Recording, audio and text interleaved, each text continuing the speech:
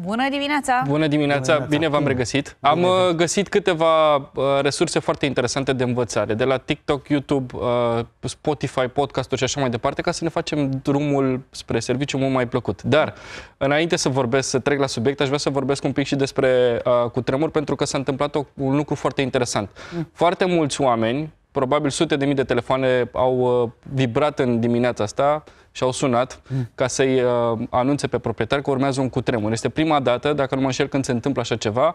Am avut un uh, cutremur la ultima revizuire de 5,4 uh, și, uh, și eu am primit această notificare că urmează să se simtă un cutremur cu vreo 15-20 de secunde înainte. Pe telefoanele Android avem un sistem foarte interesant care se numește Google Alert Earthquake System. Și cum funcționează este o rețea foarte mare formată din peste 2 miliarde de telefoane.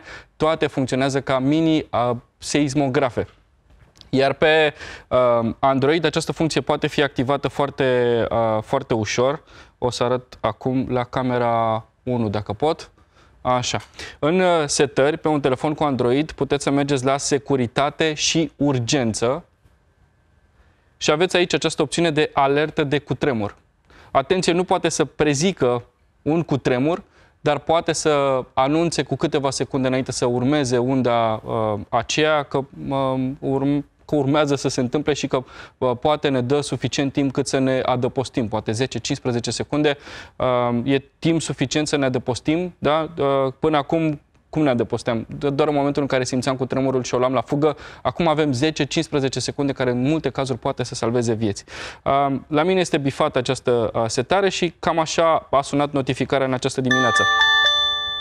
Ghemuiți-vă pe podea, acoperiți-vă capul cu mâinile și așteptați.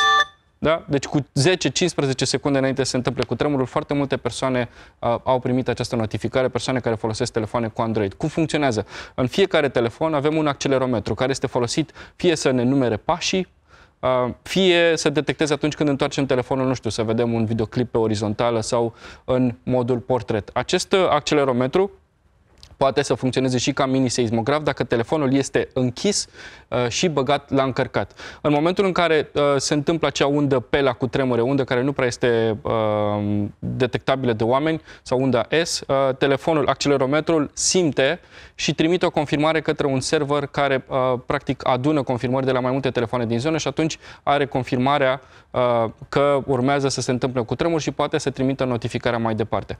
Uh, pentru utilizatorii de uh, telefoane cu alte sisteme de operare există și o altă uh, variantă.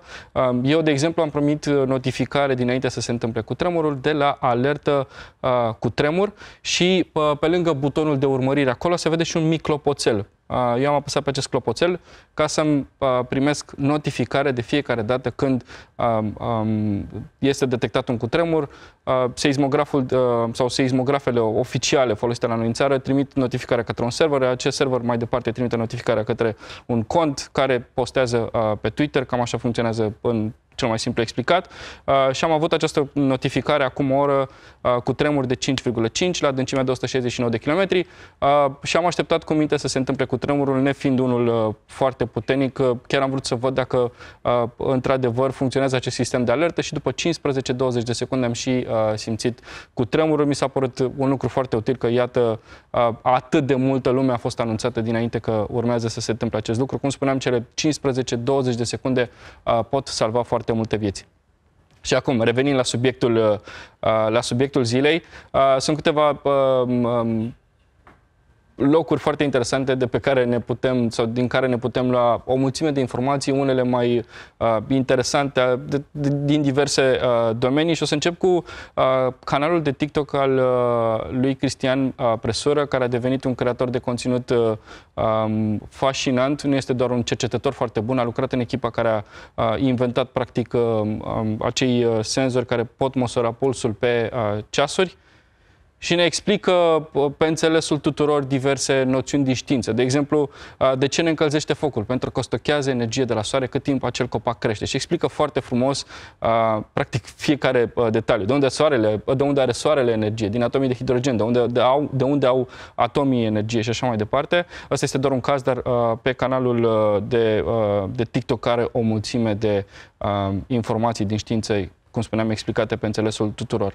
Um, mai avem și câteva canale de YouTube foarte interesante. Uh, de exemplu, uh, SciShow Kids uh, este un canal de YouTube pentru copii cu, um, care sunt explicate cu animații diverse noțiuni de știință. De exemplu, cum, cum funcționează un telescop în, în spațiu, cum arată Pământul din spațiu, despre gravitație și așa mai departe, lucruri um, de, explicate um, foarte, foarte uh, simplu pe înțelesul uh, tuturor.